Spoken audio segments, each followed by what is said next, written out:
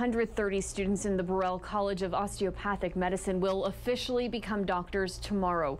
Not only is it BCOM's first ever graduating class, it will be a virtual affair. ABC 7's Hillary Florin has this story.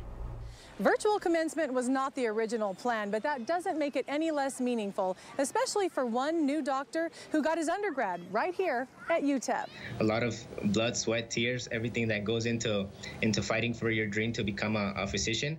After years of sacrifice, studying, and rotations, Carlos Yelot is now a doctor of osteopathic medicine. Born and raised in El Paso, it's a dream he's had since he was a boy. I, I just hope to make this world a better place. I want to my children, my all those that come behind me to feel that passion for whatever they love to do. Due to the COVID 19 pandemic, Carlos and his fellow grads finished their last year virtually and won't be walking across a stage.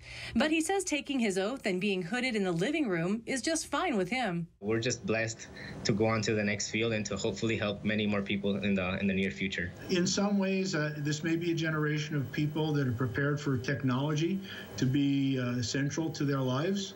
And um, uh, perhaps it's not the shock it would have been to someone such as myself who did this uh, over 40 years ago.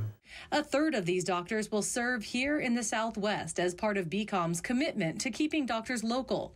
As for Carlos and his wife, they're heading to Michigan, where he'll do his residency in emergency medicine. Not only are we going to have to adjust to becoming new physicians, but we're going to have to adjust to this in the middle of a pandemic, in the middle of seeing highly sick people, in the middle of unknown uncertainty of what's going to happen, or even our own health, anyone's health. And to those who come behind him, Carlos has this advice. You don't have to be the most talented, you don't have to be the, the smartest person in the room. You just have to be willing to work, be humble, and at the same time have that faith in God that you can accomplish anything.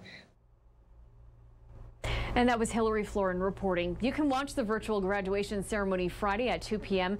on the Burrell College of Osteopathic Medicine's Facebook page. Congratulations to this first graduating class of new doctors.